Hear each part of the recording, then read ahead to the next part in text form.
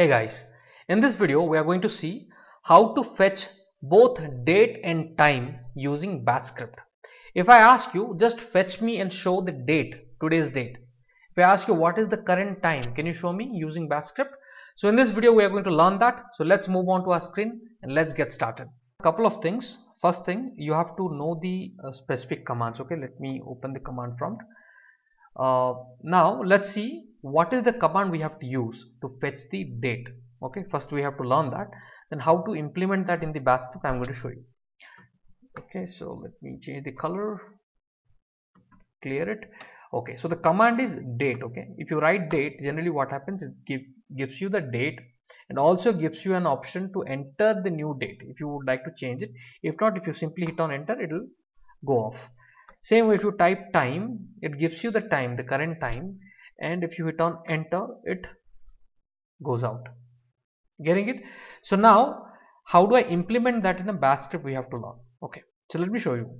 Let's write the first thing. We'll write echo of i will turn off the capital letter echo off okay?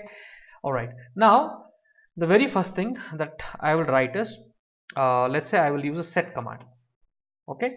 So i'll say set and I will use a, any variable let's say a equals to and here I am going to say the date command you have to use. So how to use it? Date is a command. So all you have to do simply type percentage date percentage. Okay. If you do this, the value of date what you saw it in the command prompt, the exact value will go to the variable a. You can write any variable a, b, c, d, e, f, whatever you like. You can write. Okay. So here I will simply take a so a will have the value. Now how do I see this value? Simply I will say echo percentage a for any any variable you will be writing this way right and then I will say a pause. So let me save this and let me quickly run the script batch script and here it is okay so now if I run it you can see it says Tuesday 11 29 2022 getting it? So we got the date now. We got the date. All right. So uh, now if i let me ask you a question. What would happen if i write small a instead of capital a? Will it work or not? Let me save it. Now if i run this it still works right? It doesn't matter. Great. Now i want time also. So for time all i can do is simply say time here. And if i save this and run the script what would happen? I can see the time. You can see the time right? It's like night uh, 30 you know 11:37 in the night. Getting it. So the time also i can see it. What if i would tell you i want both date and time together? So how to get that? It's quite simple. All i have to do simply write date here. So i will write date okay? And then i'll give it a space or whatever you like dash whatever you like to give. I'll give a use a space here. And i'll simply say time something like this.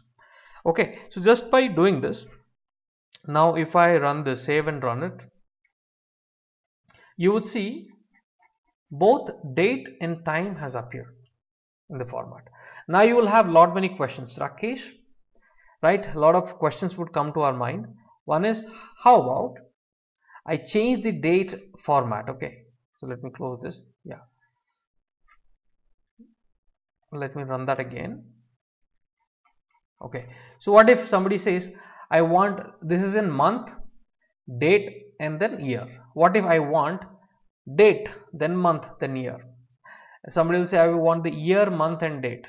Right? Different different formats. So how we can do that? I will show you as we move forward. But again this is the basic thing on how to fetch the date and time using batch script so thank you guys. So let's move on to our next topic